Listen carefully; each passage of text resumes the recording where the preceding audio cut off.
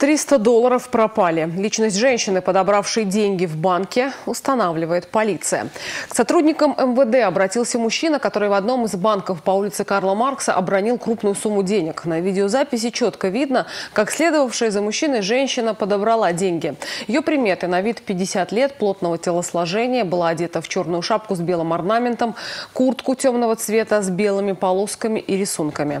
Всех, кто узнал женщину, полиция просит позвонить по телефонам 60 62 0002 или 102.